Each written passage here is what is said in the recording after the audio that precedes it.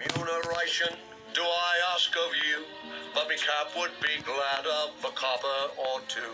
Me cap would be glad of a copper or two.